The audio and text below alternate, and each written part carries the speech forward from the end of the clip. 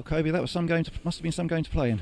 Yeah, no, it was up and down. It was eventful. Had goals, probably too many for our liking, but we got there in the end and got a great result. First half, half hour looked difficult. They, they were very much on the front foot and two up. How was it playing against them in that early stage? No, they played some good stuff. We found it difficult to get close to them at times.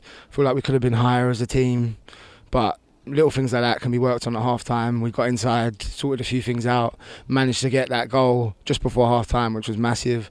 And then we came out flying second half. I mean, they didn't really have, have much, did they, apart from that goal, which was a great strike in all fairness. But apart from that, we, I feel like we deserved it. How much difference did that make, Rob Milsom's goal just before half time, into what, what the team was thinking and what was said in the dressing room? Oh, it was huge. It gave the fans a lift. It gave us a lift. Gave us some belief because, like I said, they was playing some good stuff, and we was finding it difficult at times. But yeah, the goal helped us massively. We we got in, uh, had some words with each other, sorted some things out, and worked out all right in the end. And then they struck again. I think it was about 12 minutes from 12 minutes from the end to go three two up. And what was the feeling then that we we been a bit we were a bit hard done by, or uh, no? We're we're we're a fair team, and we we we focus on little things, and we could have probably dealt with the goal a little bit better. But it's it's a great strike, um, and we never drop our heads.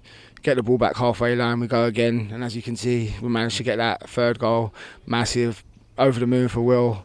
Great ball from Kiz, and yeah, then I, I, managed to smash one in the roof of the net. Yes, we'll get to that now. Um, three-three, game in, game in stoppage time. Free kick knocked into the area, bouncing around. It lands at your right foot. What happens next? Do you know what? I was just there were so many people in the way.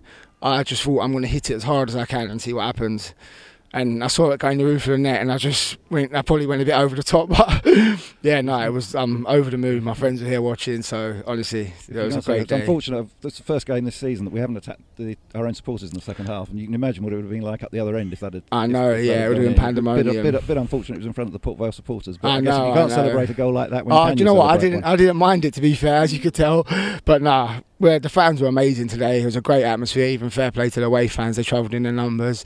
Home fans were brilliant, and it was just a it was a great game. Must have been great to watch. Yeah. It was fun to play in. Four thousand in the ground. It, you say it must have been it was, must have been a great game to play in, and then the atmosphere as well. Yeah, no, it was amazing. We thank all of everyone who came out at the end. I was taking some photos with, with some of the boys, just thanking them for coming. And we need to we need to keep the support high still because it's working. And from your personal point of view, it's been you know, it's a bit tricky for you with Ben and Louis. So well, you sort of had to had to wait your time a little bit. But every time you get in the side, you you make a, a claim, you know, and, and make the most of it.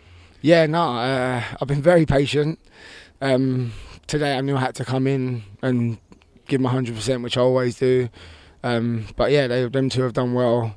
Like nothing against them. Obviously, I want to play as well, and everyone mm-hmm. wants to be on the pitch, and hopefully, I can keep my place and you're, and keep pushing forward. You're one of those players. That's when you, when you've come into the side, it's important to make a make a case that when when they're fit again, it makes you difficult to get left out. Yeah, no, hundred percent. That's what everyone's trying to do. Obviously, me personally, I had a bit of a tricky time last year with injury and things like that. I feel like I started the season well, but I'm not one to to moan. I just get on with it, try my best, and try and push them as much as I can, and hopefully, hopefully keep starting games. I've done this on the top, off the top of my head, but three starts this season and two goals. Yeah, it's not bad. yeah, no. It was it's weird because last season I didn't really score. I didn't play that much, but I just couldn't really. I couldn't even get a shot off. Like it was just weird. Haringey, everything fell to me. I scored goals, free kicks, but hopefully this season tables have turned. So fingers Brilliant. crossed. Great to see it going, Coby. Yeah. Delighted for you. Delighted for the team. Well done. Cheers. Thank you very much. Cheers, guys.